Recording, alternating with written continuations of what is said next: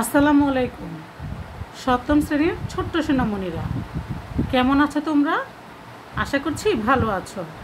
আলহামদুলিল্লাহ আল্লাহ রহমতে আমিও ভালো আছি। প্রিয় শিক্ষার্থীরা, পুলিশ লাইন্স স্কুল কর্তৃক আয়োজিত অনলাইন ক্লাসে স্বাগত জানাচ্ছি আমি তোমাদের আয়েশা মিস। আজ আমরা বাংলাদেশ ও বিশ্ব পরিচয় বইয়ের পঞ্চম অধ্যায় নিয়ে আলোচনা করব তোমাদের সাথে। আমাদের পঞ্চম অধ্যায় থেকে পাঠ এক, অর্থাৎ নাগরিকের গুণাবলী সম্পর্কে আমরা আলোচনা করব। নাগরিক বলতে তো আমরা অবশ্যই বুঝি যে যে দেশে বসবাস করে, সে ওই দেশেরই নাগরিক। তবে জন্মগ্রহণ না করেও কিন্তু সেক্ষেত্রে নাগরিকত্ব অর্জন করা যায়। যেমন আবেদনের ভিত্তিতে বা জন্মসূত্রে। ধরো তোমার পরিবারের একজন আমেরিকা বসবাস করে। সেখানে তিনি দীর্ঘদিন থাকার ফলে আবেদনের ভিত্তিতে ওই দেশের নাগরিকত্ব অর্জন করেছেন। তাহলে তিনি বাংলাদেশের নাগরিক, ওই দেশেরও নাগরিক। বা তার পরিবারে যদি কোনো নতুন সন্তান জন্ম নেয়, সেও কিন্তু জন্মসূত্রে ওই দেশের নাগরিক এবং পৈতৃক সূত্রে বাংলাদেশের নাগরিক হবে। আচ্ছা নাগরিক সম্পর্কে আমরা বিস্তারিত ধারণা পূর্বে অর্জন করেছি। এখন সামান্য আলোচনা করলাম তোমাদের সাথে। এবার চলো, সুনাগরিক বলতে আমরা কি বুঝি? সুনাগরিক বলতে ভালো যোগ্যতা সম্পন্ন জ্ঞানে গুণের অধিকারী সে ব্যক্তিকেই কিন্তু মূলত সুনাগরিক বলা হয়। আজকের পাঠ থেকে আমরা একজন সুনাগরিকের কি কি ধরনের গুণাবলী থাকে বা থাকা প্রয়োজন সে সম্পর্কে আমরা জ্ঞান অর্জন করব। তাহলে চলো শিক্ষার্থীরা, আমরা মূল আলোচনায় চলে যাই। পঞ্চমতায় বাংলাদেশ ও বাংলাদেশের নাগরিক। রাষ্ট্রের উন্নতির নাগরিকের যোগ্যতা ও দক্ষতার উপর অনেকাংশে নির্ভরশীল। হ্যাঁ একটি রাষ্ট্রের উন্নতি অবশ্যই একজন নাগরিকের যোগ্যতা এবং দক্ষতার উপর অনেকাংশে নির্ভর করে, কারণ যোগ্য এবং দক্ষ ব্যক্তি পারে দেশের উন্নতি সাধন করতে এবং কল্যাণ বয়ে আনতে। সুনাগরিক দেশের জন্য হবে সম্পদ, আর তা না হলে দেশের উন্নতি বাধাগ্রস্ত হবে। দেশের প্রগতি ও ব্যর্থতা উভয় নির্ভর করে নাগরিকের সততা, দক্ষতা এবং দায়িত্ব ও কর্তব্য পালনের উপর। যদি নাগরিক সততা অর্জন করতে পারেন এবং দক্ষতা ও দায়িত্বের সহিত কর্তব্য পালন করতে পারেন, তাহলে দেশের জন্য প্রগতি বয়ে আনবে। আর এই ধরনের গুণাবলী না থাকলে কিন্তু ওই দেশের জন্য ব্যর্থতা নেমে আসবে। এজন্য নাগরিকের হতে হবে সুনাগরিক বর্তমানে অধ্যায়ে সুনাগরিকের প্রয়োজনীয় গুণাবলী, এর প্রতিবন্ধকতা, গুরুত্ব ইত্যাদি দিক সম্পর্কে আমরা জানব। তাহলে চলা আমরা জানি, এ অধ্যায় শেষে আমরা কি কি শিখতে পারব? এ অধ্যায় শেষে আমরা শিখতে পারব সুনাগরিকের গুণাবলী বর্ণনা করতে পারব বাংলাদেশের সুনাগরিক হওয়ার ক্ষেত্রে প্রতিবন্ধক, প্রতিবন্ধকতাগুলো বর্ণনা করতে পারব এবং প্রতিবন্ধতা বন্ধ- প্রতিবন্ধকতাগুলো দূরীকরণের উপায় ব্যাখ্যা করতে পারব। অর্থাৎ সুনাগরিক হলে কিছু প্রতিবন্ধকতা, অর্থাৎ কোনো কিছু কিছু সমস্যা থাকে এবং সেই সমস্যাগুলো আমরা সমাধান করতে পারব। বাংলাদেশের আর্থসামাজিক উন্নয়নে সুনাগরিকের গুরুত্ব ব্যাখ্যা করতে পারব এবং নাগরিকের অধিকার অর্জন ও দায়িত্ব বর্ণনা করতে পারব।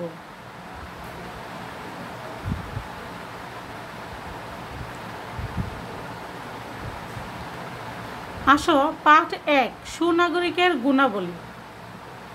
একটি দেশের প্রকৃত উন্নয়নের জন্য প্রয়োজন সুনাগরিক। কেউ সুনাগরিক হয়ে জন্মগ্রহণ করে না, এটাই সত্যি কথা। প্রত্যেকেই কিন্তু জন্মগ্রহণ করে একটি নির্ধারিত নিয়ম অনুসারে। জন্মের পর সেই সুনাগরিক হয়ে গড়ে ওঠে তার পারিবারিক এবং পারিপার্শ্বিক দিক বিবেচনা করে। সুনাগরিকতা অর্জন করতে হয়। সুনাগরিকের কতগুলো গুণ বা বৈশিষ্ট্য রয়েছে, এগুলো অর্জনের মাধ্যমে নাগরিক সুনাগরিকে পরিণত হতে পারে। রাষ্ট্রবিজ্ঞানীদের মতে, সুনাগরিক হতে হলে একজন নাগরিককে তিনটি মৌলিক গুণের অধিকারী হতে হবে। কয়টি মৌলিক গুণের অধিকারী শিক্ষার্থীরা? তিনটি। আচ্ছা নিচের ছকে সুনাগরিকের গুণাবলী কি কি তা উল্লেখ করা হলো। তাহলে চলো আমরা নিচের ছকটি অনুসরণ করি।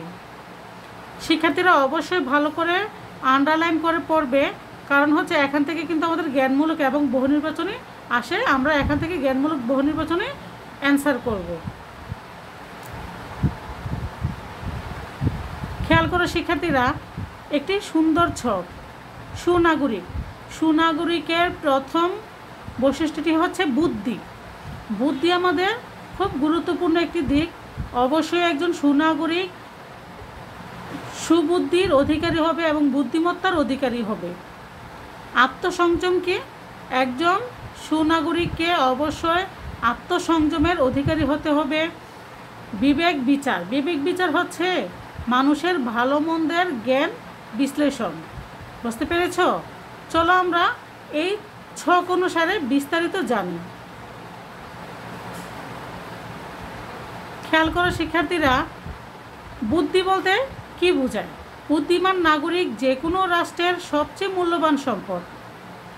বুদ্ধিমত্তা অর্জনের সবচেয়ে বড় উপায় হলো শিক্ষা লাভ করে জ্ঞান অর্জন করা।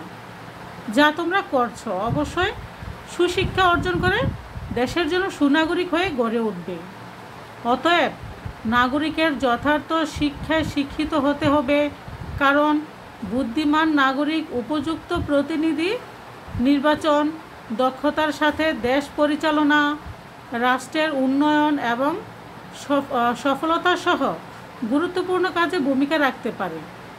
এজন্য বাবা মায়ের উচিত সন্তানের যথাযথ শিক্ষা দেওয়া। নাগরিকের দায়িত্ব উপযুক্ত শিক্ষার ব্যবস্থা নিশ্চিত করা। তাহলে আমরা বুদ্ধি বলতে বুঝেছি না? অর্থাৎ আমরা ভালো করে লেখাপড়া করব জ্ঞান অর্জন করব বাবা মা আমাদেরকে যে শিক্ষা দিবে, সে শিক্ষা আমরা অবশ্যই গ্রহণ করব। শিক্ষকদের দেওয়া সুশিক্ষাগুলো আমরা গ্রহণ করব। তাহলেই কিন্তু একজন বুদ্ধিমান এবং বুদ্ধিমত্তা নাগরিকে আমরা পরিণত হতে পারব এবং দেশের একজন কি? একটি মূল্যবান সম্পদ হিসেবে পরিগণিত হতে পারবে। তাহলে আমরা বুদ্ধি সম্পর্কে বুঝতে পেরেছি, শিক্ষার্থীরা? এবার আসো, আত্মসংযম কি? সে সম্পর্কে ধারণা অর্জন করি। আত্মসংযম, সুনাগরিকের আত্মসংযমী হতে হবে। আত্মসংযম নাগরিকের অসৎ কাজ যেমন দুর্নীতি, স্বজনপ্রীতি, স্বার্থপরতা, পক্ষপাতিত্ব ইত্যাদি থেকে বিরত রাখে। দেশ ও সমাজের স্বার্থে কাজ করতে ও নিয়ম মেনে চলতে অনুপ্রাণিত করে। তাই আত্মসংযম ছাড়া সুনাগরিক হওয়া সম্ভব নয়। খুব গুরুত্বপূর্ণ একটি অংশ শিক্ষার্থীরা, আবারও খেয়াল করে শোনো নাগরিককে আত্মসংযমী হতে হবে। আত্মসংযম নাগরিককে অসৎ কাজ থেকে কিন্তু বিরত রাখে। অসৎ কাজ বলতে তো এখানে উল্লেখ করে আছে। দুর্নীতি, স্বজনপ্রীতি, স্বার্থপরতা, পক্ষপাতিত্ব। যেমন দেখো একজন নাগরিক যদি আত্মসংযমের অধিকারী হন, তাহলে তিনি অবশ্যই কোনো দুর্নীতিতে জড়িত হবেন না। সে ব্যক্তির যত আপনজনে হোক না কেন, সে যদি কখনো দুর্নীতিতে পতিত হয়, তাহলে কিন্তু সে তার পক্ষ নিবে না এবং নিজস্ব স্বার্থে স্বার্থপরতা করবে না, পক্ষপাতিত্ব করবে না। সবাইকে সমান দৃষ্টিতে দেখবে, তাই না? দেশ ও সমাজের সাথে কাজ করতে ও নিয়ম মেনে চলতে অনুপ্রাণিত করে। তাই আত্মসংযম ছাড়া সুনাগরিক হওয়া সম্ভব নয়। আচ্ছা আত্মসংযমী নাগরিক নিয়মকানুন মেনে চলে, অন্যের মতামতকে শ্রদ্ধা করে, দেশের স্বার্থকে নিজের স্বার্থের চেয়ে বেশি গুরুত্ব দেয়। দেখো, যে কোনো কাজ করতে গেলে একক সিদ্ধান্তের কাজ বা সেই কাজের ফলাফল কিন্তু ভালো হয় না। সেক্ষেত্রে একাধিক মতামত আসে। একাধিক মতামতের মধ্যে যে মতামতটা বেশি গুরুত্বপূর্ণ, দেশের জন্য কল্যাণকর, দশের জন্য মঙ্গলজনক, সেটা কিন্তু গ্রহণ করা উচিত।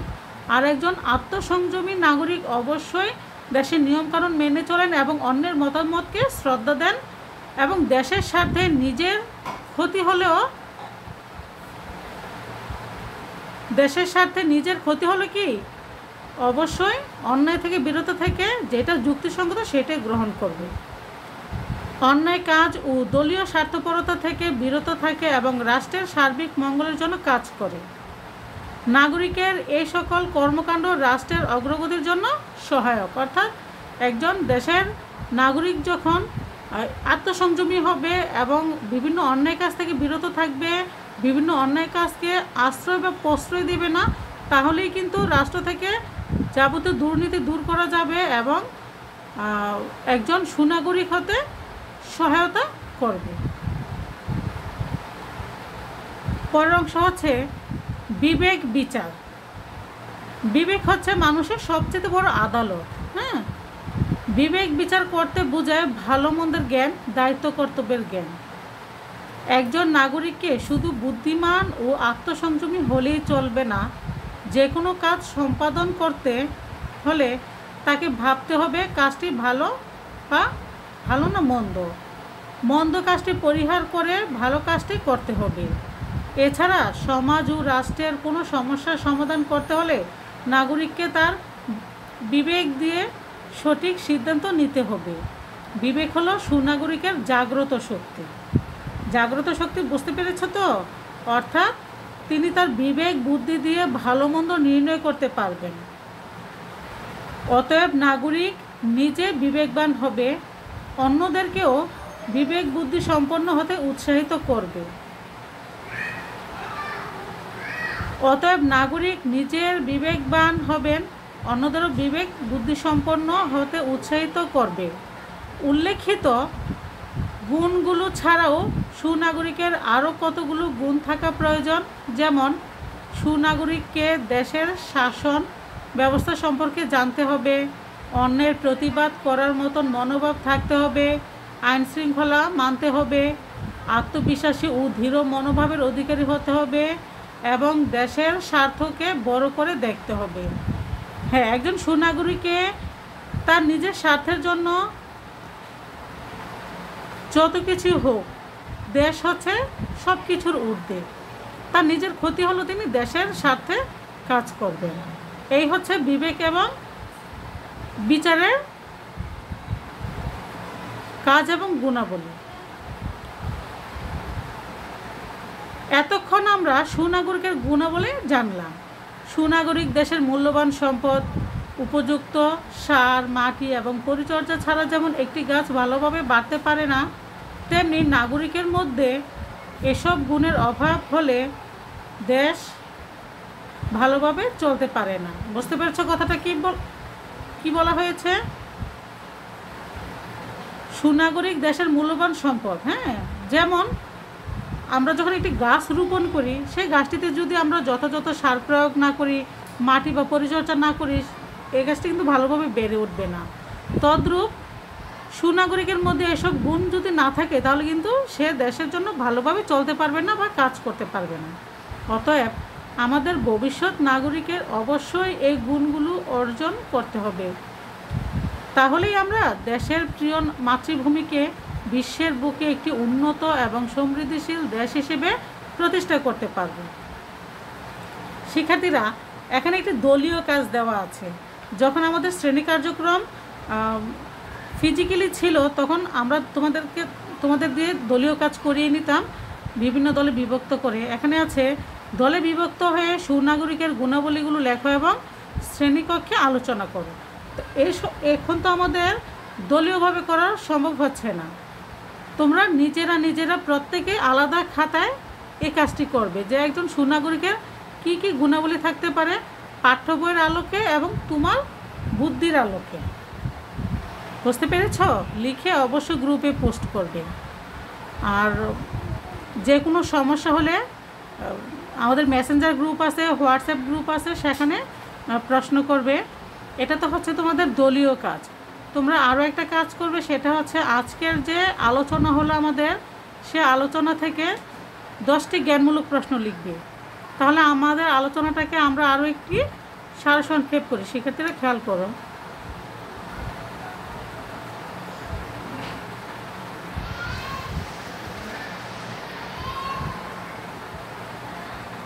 আমাদের আজকে আলোচনার বিষয়টা ছিল সুনাগরিক। সুনাগরিকের কিছু গুণাবলী ছিল সুনাগরিকের তিনটি গুরুত্বপূর্ণ গুণাবলী ছিল। সেই গুণাবলীর আলোকে বুদ্ধি, আত্মসংযম এবং বিচার, বিবেক বিচার, এই গুণগুলো আমরা ধারণ করব, এই গুণের আলোয় আলোকিত হব মনোযোগ দিয়ে পড়াশোনা করব অবশ্যই বাবা মায়ের কথা শুনব, স্বাস্থ্যবিধি মেনে বাহিরে গেলে স্বাস্থ্যবিধি মানতে হবে। ভালো থেকো শিক্ষার্থীরা, ধন্যবাদ তোমাদের, আল্লাহ হাফেজ।